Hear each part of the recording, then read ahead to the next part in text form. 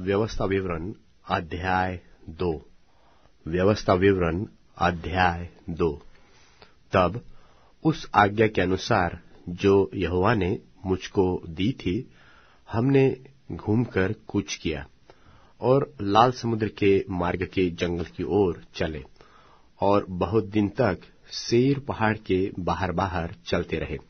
तब यहोवा ने मुझे कहा, तुम लोगों को इस पहाड़ के बाहर बाहर चलते हुए बहुत दिन बीत गए। अब घूमकर उत्तर की ओर चलो। और तू प्रजा के लोगों को मेरी यह आज्ञा सुना कि तुम शेर के निवासी अपने भाई ऐसावियों के सिवान के पास होकर जाने पर हो, और वे तुमसे डर जाएँगे। इसलिए तुम बहुत चौकस रहो। उन्हें न छेड़ना, क्योंकि उनके देश में से मैं तुम्हें पाव धरने का ठौर तक न दूँगा। इस कारण कि मैंने सेईर पर्वत ऐसावियों के अधिकार में कर दिया है।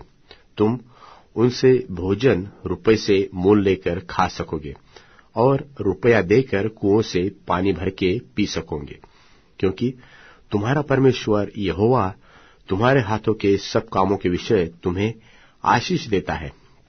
इस भारी जंगल में तुम्हारा चलना फिरना वह जानता है।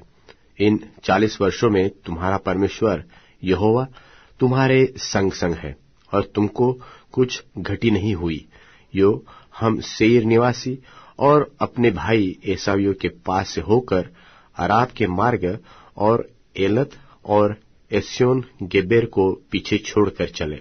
फिर हम मुड़कर मोआब के जंगल के मार्ग से होकर चले और यहोवा ने मुझसे कहा, मोआबियों को न सताना और न लड़ाई छेड़ना, क्योंकि वे, मैं उनके देश में से कुछ भी तेरे अधिकार में न कर दूँगा, क्योंकि मैंने आर को लोतियों के अधिकार में किया है। अगले दिनों में वहाँ एमी लोग बसे हुए थे, जो अनाकियों के समान बलवंत और लंबे लंबे और गिनती में बहुत थे, और अनाकियों की नाई वे भी रपाई गिने जाते थे।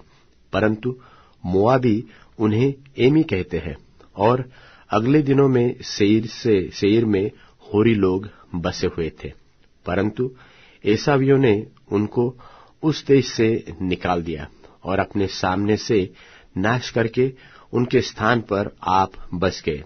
जैसे कि इसराइलियों ने परमेश्वर यहोवा के दिए हुए अपने अधिकार के देश में किया। अब तुम कूच करके जेरेद नदी के पार जाओ। तब हम जेरेद नदी के पार आए और हमारे कादेश परने को छोड़ने से लेकर जेरेद नदी पर होने तक अड़तीस वर्ष बीत गए। उस बीच में यहोवा की शपथ के अनुसार उस पीढ़ी के सब योद्धा छावनी में से नाश हो गए और जब तक वे नाश न हुए, तब तक यहोवा का हाथ उन्हें छावनी में से मिटा डालने के लिए उनके विरुद्ध बढ़ा ही रहा।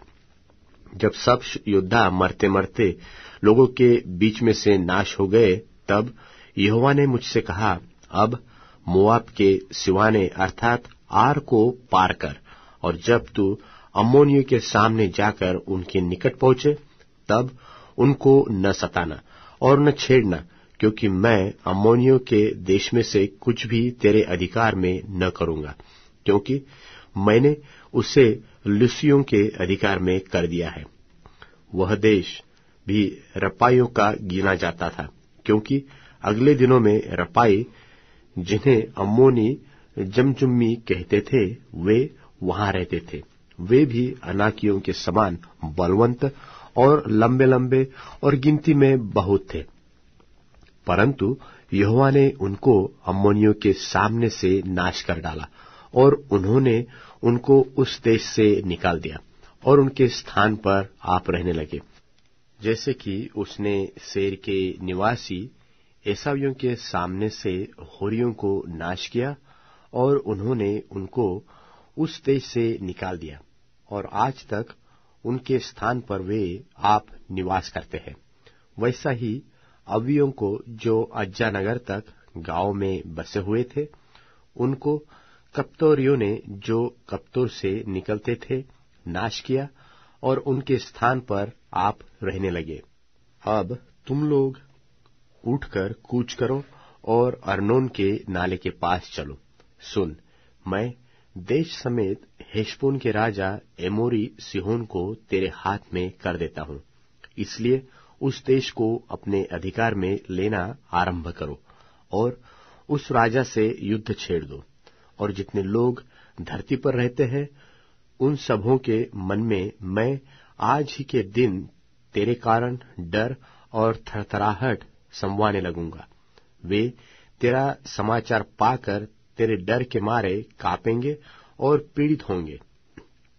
और मैंने कदेमोत नाम जंगल से हेशपुन के राजा सिहोन के पास मेल की बातें कहने को दूत भेजे कि तुझे अपने, मुझे अपने देश में से होकर जाने दे।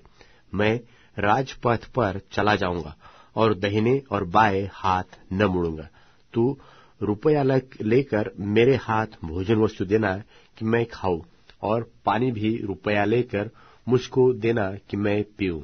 केवल मुझे पाँव पाँव चलने जाने दे। जैसा शेर के निवासी एसावियों ने और आर के निवासी मोआबियों ने मुझसे किया, वैसा ही तू भी मुझसे कर। इस रीति मैं यर्दन पार होकर उस देश में पहुंचूँगा, जो हमारा परमेश्वर यहोवा हमें देता है। परंतु हेशपोन के राजा सिहोन ने हमको अपने देश में से होकर चलने न दिया। क्योंकि तुम्हारा परमेश्वर यहोवा ने, तुम्हारे परमेश्वर यहोवा ने उसका चित्त कठोर और उसका मन हठीला कर दिया था। इसलिए कि उनको, उसको तुम्हारे हाथ में कर दे, जैसा कि आज प्रकट है। और यहोवा ने मुझसे कहा, सुन, मैं देश समेत सिहोन को तेरे वश में कर देता हूँ। उस देश को अपने अधिकार में लेना आरंभ कर।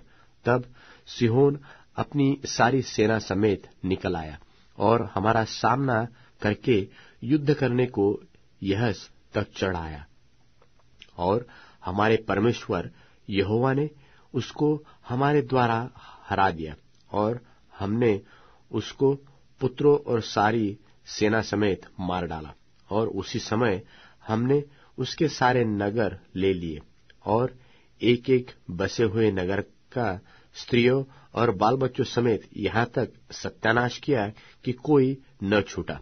परंतु पशुओं को हमने अपना कर लिया और उस नगरों की भी लूट भी हमने ले ली, जिनको हमने जीत लिया था। अरनोन के नाले के छोर वाले अरोएर नगर से लेकर और उस नाले में के नगर से लेकर गिलाद तक कोई नगर ऐसा ऊँचा न रहा, जो हमारे सामने ठहर सकता था, क्योंकि हमारे परमेश्वर यहोवा ने सबों को हमारे वश में कर दिया। परंतु हम अम्मोनियों के देश के निकट बरन यब्बोक नदी के उस पार जितना देश है और पहाड़ी देश के नगर जहाँ जहाँ जाने से हमारे परमेश्वर यहोवा ने हमको मना किया था, वहाँ हम नहीं गए।